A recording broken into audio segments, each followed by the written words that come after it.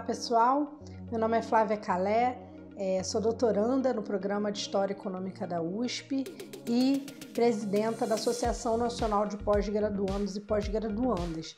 E venho saudar a iniciativa em criar o portal do Bicentenário, essa que é uma discussão fundamental não só para a história do Brasil, mas para o nosso presente, deveria ser encarada como um ponto de inflexão importante para se pensar um projeto nacional para o Brasil, para a gente repactuar a sociedade brasileira em torno de um projeto que nos legue efetivamente a independência, né? que nos legue efetivamente a possibilidade de construção pelas nossas próprias mãos de um projeto autônomo para o Brasil.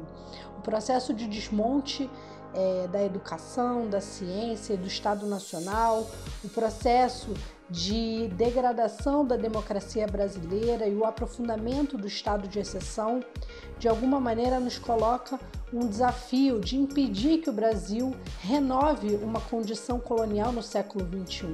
Essa é uma tarefa que nós temos no presente.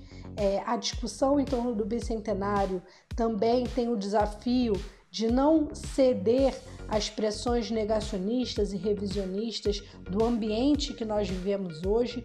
Então, é, um debate público é fundamental para conseguir resgatar o debate sobre os significados da independência do Brasil, os desafios, as rupturas e as continuidades é, que se deram naquele momento e quais são os desafios do presente, situar melhor os desafios do presente.